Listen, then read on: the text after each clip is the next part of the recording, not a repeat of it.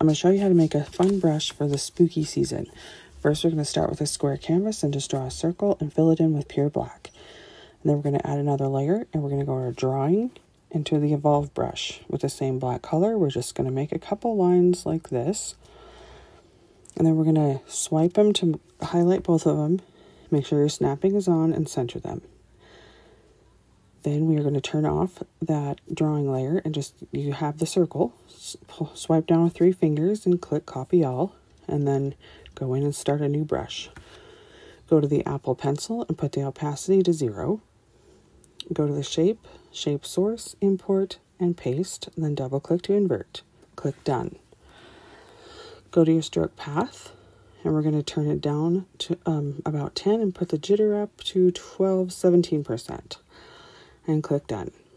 Now we're going to hide that circle and and highlight the other one and swipe down with three fingers and copy all. Duplicate that same brush and go into your shape.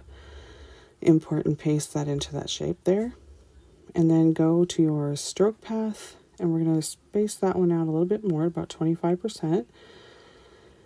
And then put your jitter down to 21%.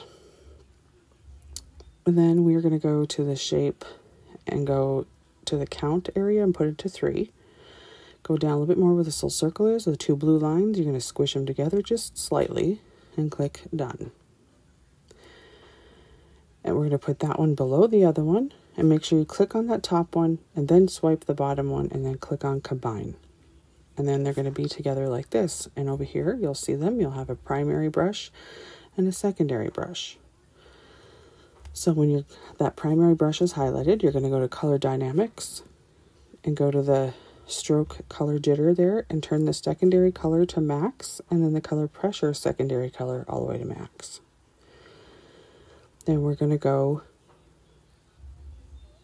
up here and click on the secondary one and go to properties and then watch up there the little thing there you can see when you move that how it changes it. We're to make that a little bit bigger. And then back into the primary brush, I forgot to go into the grain. And we're going to put it to this grunge grain and make sure it's on texturized. And the scale is about 25%. And now we're going to go click on orange. And then see you have two different colors there in your color guide. You can click on black. I have orange and black highlighted, so you can pick just two different colors. And this is what it turns out.